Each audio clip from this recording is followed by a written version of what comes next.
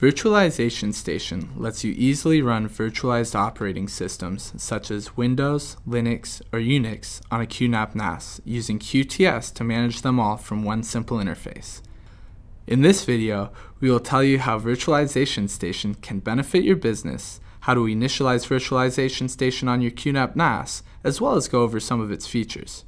Virtualization Station can be beneficial in many aspects. For example, businesses who require different versions of Windows to run certain programs, lightweight cloud computing, or even just for test purposes.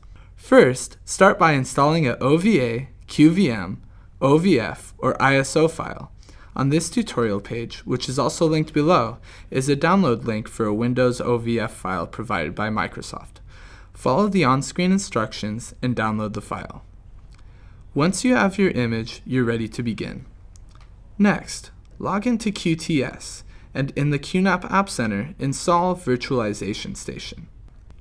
Now, open Virtualization Station. There are two ways to begin running a VM. First, you can click on Create VM in the top right hand corner, give the VM a name, choose your OS type, allocate your CPU and memory, designate your ISO file, and where you want it stored. The second way to begin running a VM is by importing. Select Import at the top of the page. Importing supports OVA, QVM, and OVF files. Here we will import Microsoft Windows OVF file provided earlier. Select the OVF files and click Next. Now you can give your VM a name, allocate CPU and memory, and choose where the VM is located. Once you have your virtual machines running, you can see them in your overview. The newly revamped Virtualization Station 3 shows you a detailed overview of all your VMs. Here you can launch a console by directly clicking on the console preview of each VM. To access more in-depth settings, select Virtual Machines on the left side panel and select a VM.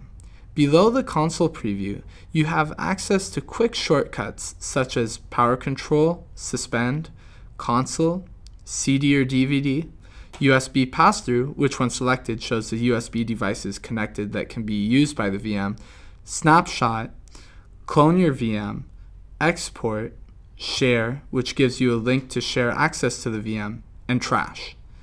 Above the VM preview, you have access to settings, where you can change the VM name and the CPU and memory allocated.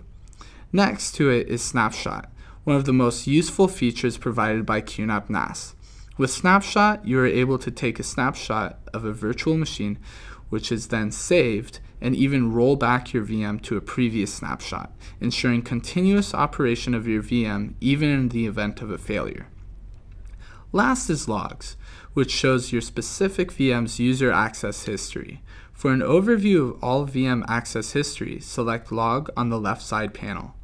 One of the most useful features of Virtualization Station is access control, allowing you to have total control over what each user has permission to access. First, you would click on Account Management, then click on Create User. Here you can create a username and password. Below, you can choose exactly what each user has permission to access, then click OK. Lastly, if you want to enable users to have remote access, select Preferences on the left side panel and make sure that port 8088 and 8089 for SSL access have been set in your router. To ensure a seamless VM experience, make sure you back up your data. Thankfully, QNAP has built-in tools to help make this easy. Select Backup and Restore VM in the left side panel and select Backup VM on the top right. Give your task a name, select your VM, and even schedule backups. Now, in the event of VM failure, with one click, you can revert your VM to a previous backup by clicking the restore icon. Virtualization Station from QNAP is an efficient and cost-effective way to run virtualized desktops while still having the convenience of a centralized storage solution that QNAP NAS offers as well.